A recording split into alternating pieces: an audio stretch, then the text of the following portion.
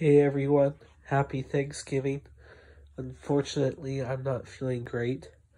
I have a sore throat and a, a lot of cough, and I believe this might be COVID or not. I don't know. But please don't panic. I am going to get through this. Even if it takes me a long time, I will get through this.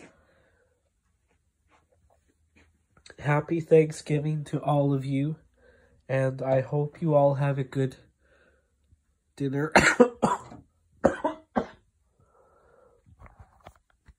Excuse me. Pardon me. But yeah, I was not well the past couple of days, and I still am not totally well. I was supposed to be at work today, um, but I just can't go if I'm not well.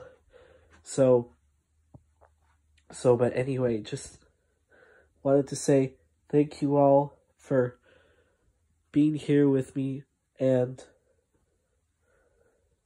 I hope you all have a good day and stay healthy out there um,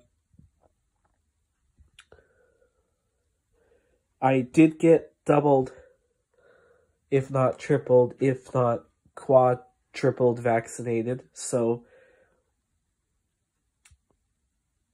this COVID isn't as bad as I would expect it to be, but still, just please understand this could take probably a week. So have a good day.